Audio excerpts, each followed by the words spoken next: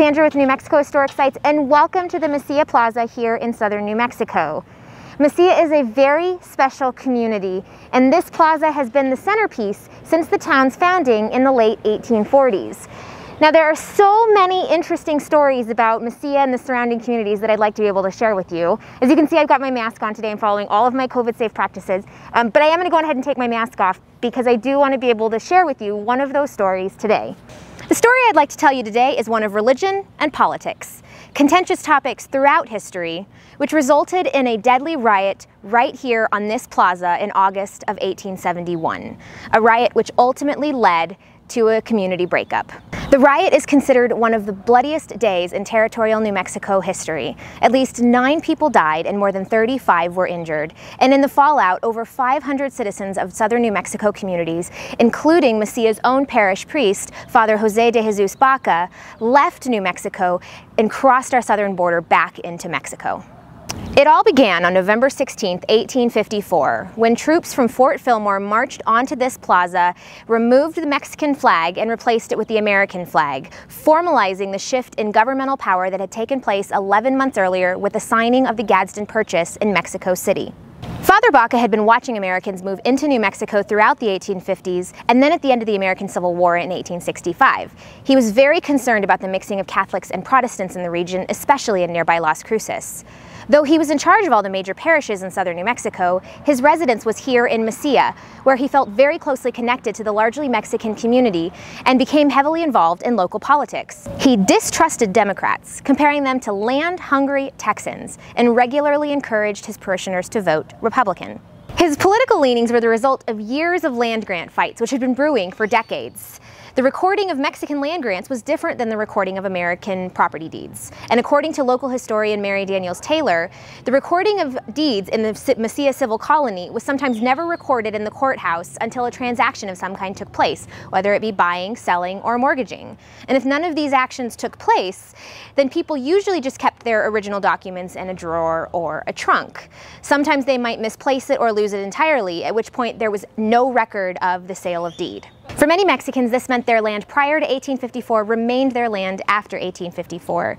A stipulation in the Treaty of Guadalupe Hidalgo even provided protection for those property rights. This wasn't the case, however, as Americans had long lived under a system where land grants were formalized through lawyers and the government and property ownership had record. Where land wasn't formally claimed, such as in plots that were set aside for community use or where deeds had yet to be formalized, some citizens of Doña Ana County found their definition of property ownership a big problem. In March of 1871, community leaders, both Anglo and Hispanic, met to try and come up with a solution to put an end to the land grabbing and squatting that had been a problem since the signing of the Gadsden Purchase. Community leaders hoped to find an agreement that would allow Mesilleros the ability to keep their land and formalize their property rights in the eyes of the American government. It was necessary without delay to put the proper and pertinent documents in the hands of lawyers to assure titles. This brings us back to Father Baca, who throughout the summer had been arguing from both his pulpit and in newspapers that voting for the Democratic ticket meant a loss of not only personal property, but also religion. He said that Catholicism was intrinsically tied to what it meant to be Mexican and that Democrats, Texans, and Americans did not act in the best interest of the community. He felt that Republicans would better protect Mesilleros' property rights and the church. All of this ultimately served to magnify a feeling of distrust and unease within the community. That year, Jose M. Gallegos and J. Francisco Chavez were vying for the New Mexico Territory's singular seat in Congress. It was an important position despite being a non-voting seat.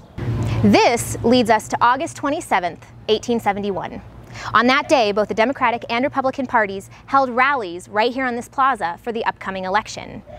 The rallies were full of passion, both sides had a band whose music pervaded the whole plaza and the alcohol flowed freely. Soldiers from nearby Fort Selden had been dispatched earlier in the day to monitor the situation, knowing there had been heightened political tensions both in Mesilla and Doña Ana County. However, seeing as events were calm, they decided to return back to Fort Selden, 20 miles to the north. Throughout the day, the two parties continued to circle one another as they marched through the streets of Mesilla until they came to a standoff here, in front of what was once the Reynolds and Griggs storefront. As the shouting grew and each party's band increased its volume in an attempt to outbid one another, the two groups collided and a shot rang out above the crowd. Republican John Lemon, who lived here on the plaza's south end, had been arguing with newspaper man and Democrat I.N. Kelly. When the first shot rang out, Kelly struck Lemon over the head with a blunt weapon. Now, Republicans argue that Kelly's attack was unprovoked, but Democrats say that Lemon goaded Kelly and threatened to attack him, so Kelly acted in self-defense. Regardless of the motivations, in retaliation, Lemon's friend Felicito Arroyas y Luceres shot and killed Kelly. Arroyas himself was shot and killed soon after, and violence erupted across the plaza. Panic set in as Mass was ending over at San Albino on the plaza's north end, and parishioners exited the service to find their community in chaos, with stray bullets and fists flying through the air and people trampling one another in an attempt to escape. Seven-year-old Teresita Garcia, whose grandfather Antonio Garcia was a horn player in one of the bands, had been watching the rallies from where she played at the steps of the church. She got frightened when the shouting began and started running for home.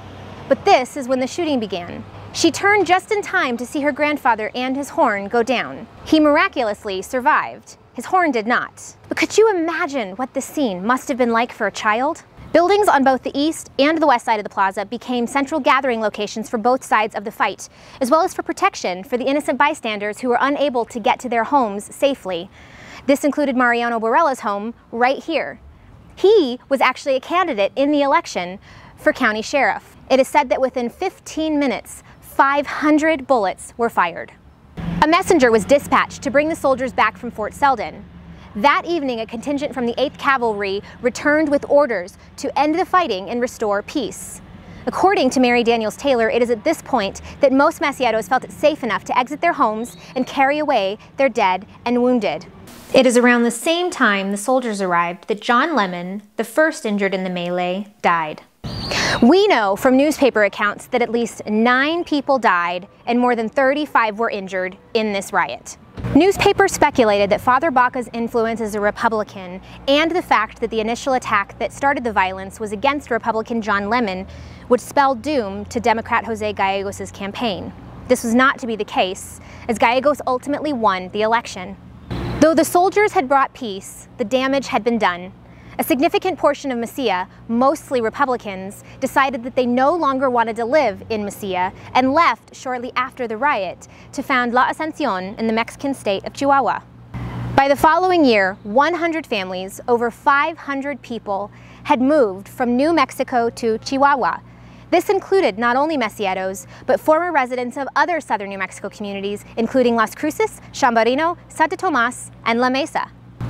In July of 1872, citizens of La Ascension petitioned the Diocese of Durango requesting that Father Baca be transferred from San Albino to their new parish. 490 out of the 500 citizens of La Ascension signed that petition. Former New Mexico State historian Rick Hendricks suggests that it was more than just political tensions that caused this mass exodus. He writes that these former New Mexicans probably felt moved to relocate to the ecclesiastical province of the Diocese of Durango and felt that they would rather take their chances in Mexico than in the politically violent climate of the United States. The first to sign that petition was Blas Duran, a former Mesilla resident whose home still stands here on the north side of San Albino. Father Baca remained at San Albino until April of 1873, when he then transferred to La Ascension. New Mexico remained a territory of the United States for over 60 years before being granted statehood in 1912. There were a variety of reasons for this, but this moment in history certainly played into that. Americans felt New Mexico was a lawless land where the bullets ran wild and the blood spilled freely. This community would never be the same. It lost a portion of its population as well as its parish priest. Today, the community of La Ascension in Chihuahua is actually a sister city to Mesilla, and the plaza remains quiet. But the riot of 1871 has remained in the community's collective memory.